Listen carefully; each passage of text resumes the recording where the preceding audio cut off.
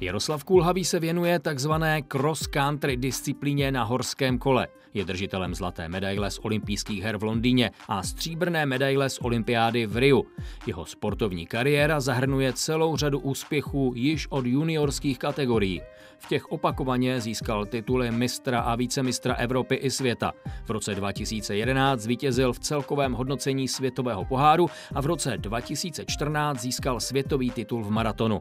Drží i řadu ocenění z anket Sportovec roku a Král cyklistiky, kde zvítězil hned třikrát za sebou.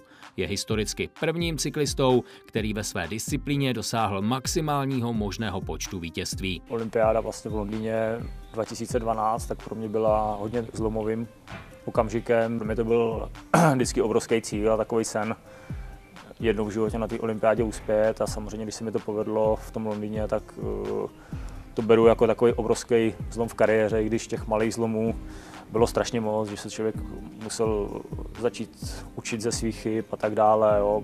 Byly tam takový různý sinusoidy, kdy se dařilo, nedařilo a těch věcí bylo hodně, ale uh, samozřejmě takový ten zlom uh, si myslím, že pro mě byl tenhle minimálně v tom sportovním životě.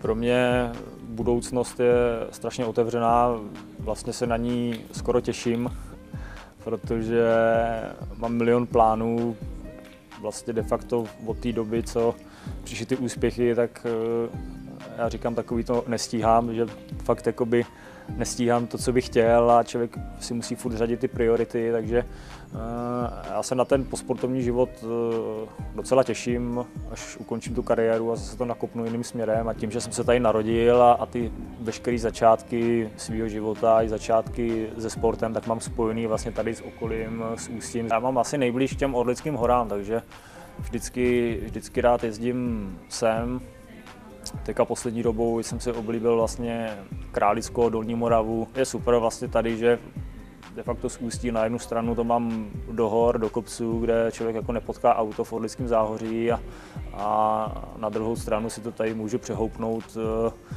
Litomyšl a potom pokračovat směrem, směrem na Pardubice a tam jako na placce zase úplně eh, jiný svět a vypadá to tam jinak, takže to se mi tady, to se mi tady líbí.